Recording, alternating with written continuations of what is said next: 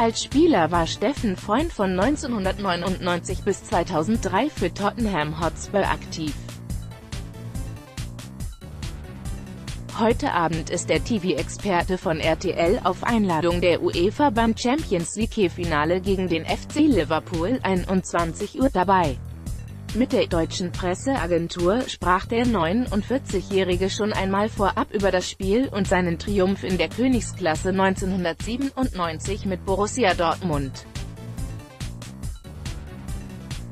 Steffen Freund, was verbindet sie noch mit ihrem Ex-Club Tottenham? Steffen Freund, meine Verbindung ist immer noch groß.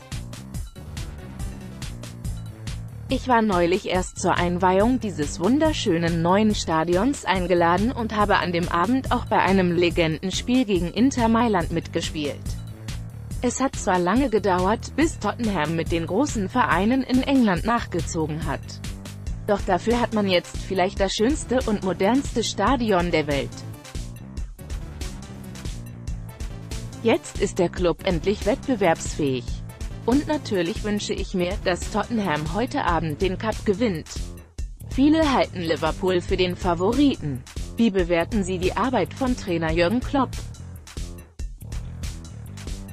Was Jürgen Klopp in Liverpool leistet, ist für den deutschen Fußball wundervoll. Jürgen in Liverpool, Thomas Tuchel in Paris, es ist super, dass deutsche Trainer international erfolgreich sind. Für Jürgen spricht seine Emotionalität, seine Echtheit und seine Spontanität.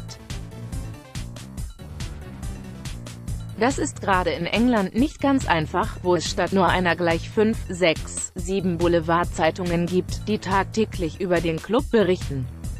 Es ist toll zu beobachten, wie er das Gesamtpaket Liverpool managt. Aber, sowohl Jürgen Klopp als auch Maurizio Pochettino bei Tottenham haben mit ihren Clubs noch keinen Titel gewonnen.